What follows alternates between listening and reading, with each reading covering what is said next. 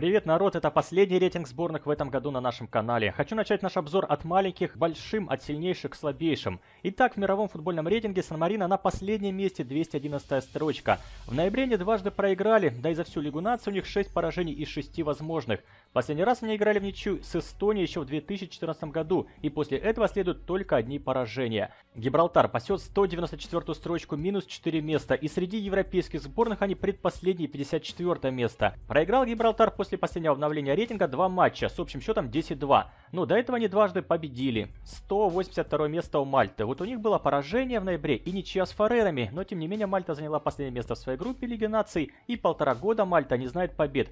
Последний раз они побеждали Украину в товарищеской игре. Чуть выше Лихтенштейн 181 ступенька. Команда также одну игру проиграла, а одну свела в ничью. И в той же группе с Гибралтаром они очутились на четвертом месте. 170 место в рейтинге у Молдовы. Сборная в ноябре добилась хороших результатов победа и ничья. Надо отметить и тот факт, что Молдова 5 игр не знает поражений, и у них в рейтинге за ноябрь плюс 1. Дальше немного пропустим. Литва 133, имеется в виду в рейтинге. За ноябрь они потеряли две позиции. Сборная была в более высшем дивизионе Лиги наций, чем все остальные вот эти сборные, но тем не менее понизилась в итоге к ним. У команды 6 поражений к ряду, и тут понятно, что было с ними в ноябре. Два поражения, 7-1 по сумме двух игр. Андора также в Европе. И в ноябре в двух официальных матчах они играют дважды в ничью с Грузией и. Латвией. Вполне неплохо. Но в группе они все равно последние. У Андоры 8 матчей без побед. И вместе с Литвой они занимают 133 место, так как набрали одинаковое количество очков по 1111. Кстати, кому интересно узнать про итоги Лиги наций, ссылку оставлю в конце.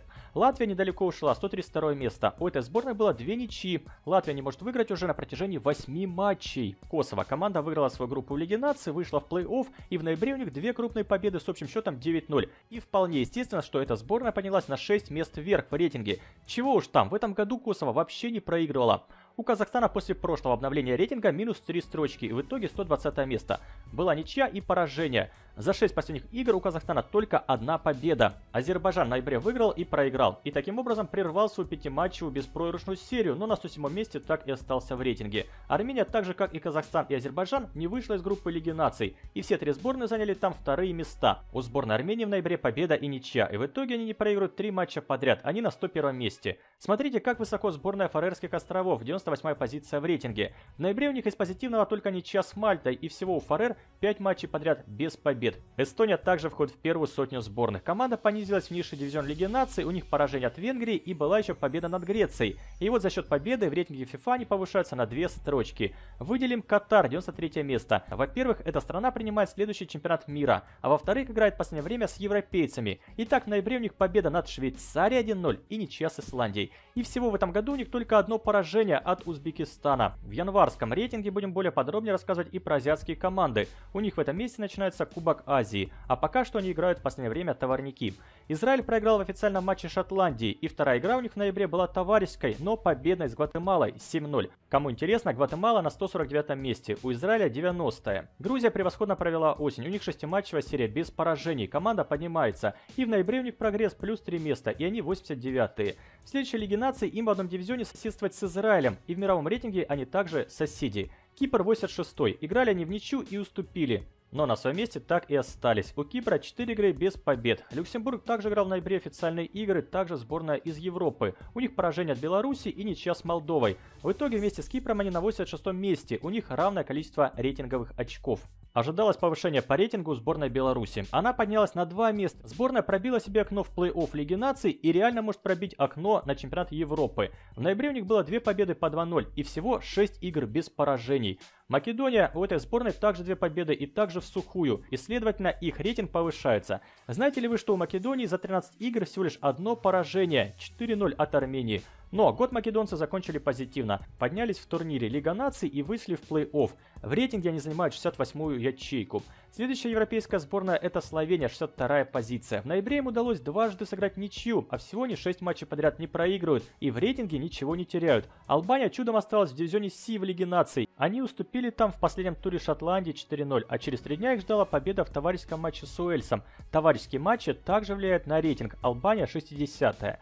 Финляндия дважды уступила, но это были матчи без мотивации, так как Финляндия получила путевку в плей-офф Лиги наций, но рейтингу это не докажешь, и их после двух поражений ждет понижение 58 место. Недалеко их соседи по группе Венгрия, и они уже три матча никому не проигрывают. А после последнего обновления они провели два матча и оба выиграли по 2-0 и повышаются на два этажа вверх. Если хотите разобраться, как начисляются эти очки по данной системе, рекомендую выпуск, ссылку оставлю в конце. А у нас дальше Россия. Сборная дважды проиграла в ноябре товарищескую Германии и в официальном матче Швеции. Вследствие чего Россия 48-я. Не хочу подвергать рейтинг сомнению, но как-то сильно много Россия потеряла, словно проиграла каким-то карликом. Напомню, что по новой системе, если проигрываешь командам, которые выше по рейтингу, то и теряешь меньше, а тут сразу минус 7 мест. Этажом выше Норвегия. Напомню, что они получили шанс попасть на Евро через плей-офф Лиги наций. Всего на данную минуту у них 4 матча без поражений. Болгария вместе с Норвегией расположилась на 46 месте, 1425 очков. У болгар 3 игры без побед. В ноябре они дважды сыграли в ничью.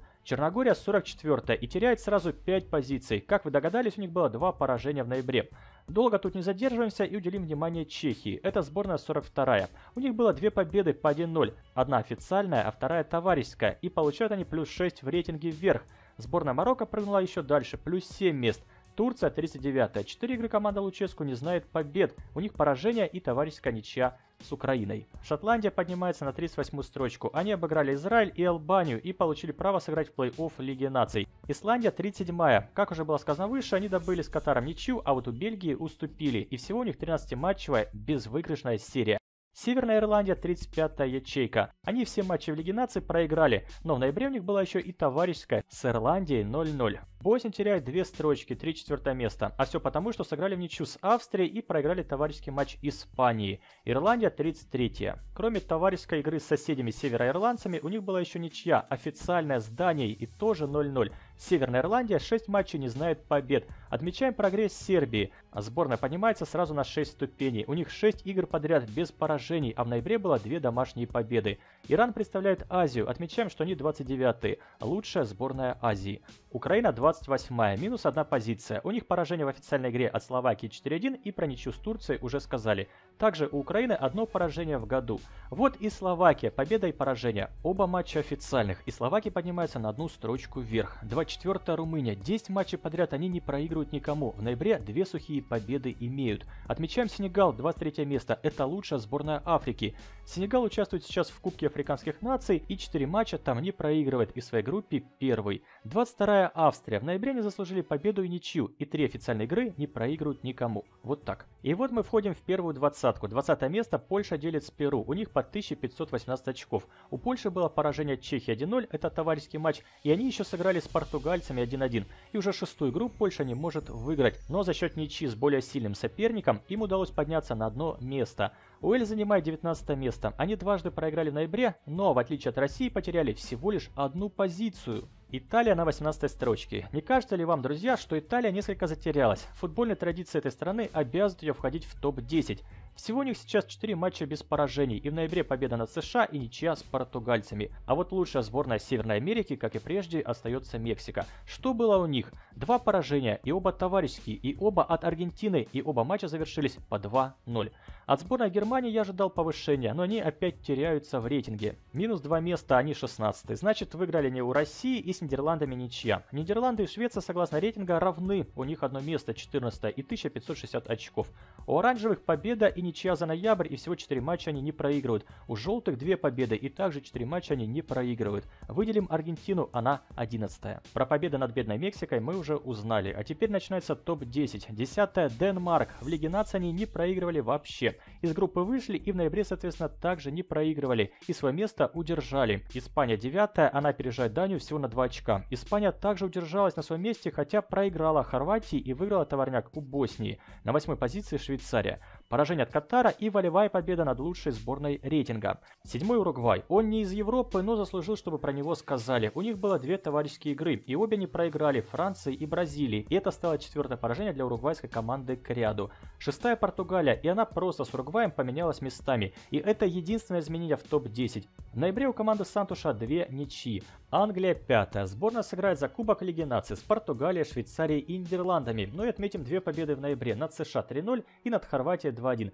Всего они пятую игру не проигрывают. Следующая на очереди сборная Хорватии. Они опережают Англию в рейтинге всего на 3 очка. Хорватам удалось обыграть Испанию, но удалось и проиграть Англии. Бразилия, третье место. Шестиматчевая победная серия. Все шесть матчей выиграно в сухую. Две последние в ноябре с Камеруном 1-0 и с Уругваем 1-0. Превосходно. Но на втором месте, как и прежде, Франция. Поражение и победа у них. И на первом месте Бельгия. И Франция проигрывает ей всего лишь одно очко в мировом рейтинге. У них, как и у французов, победа и ничья за ноябрь. И обе сборные упустили возможность занять первые места в Лиге наций и побороться за Кубок Лиги наций и выйти в плей-офф. Постарался для вас сделать простой и понятный обзор. Надеюсь, вы заметили и оценили. А теперь постарайтесь и вы. Поставьте лайк. Это просто. Смотрите и итоги в Лиге наций. Кто повысился, кто понизился и кто попал в номинации. Пока.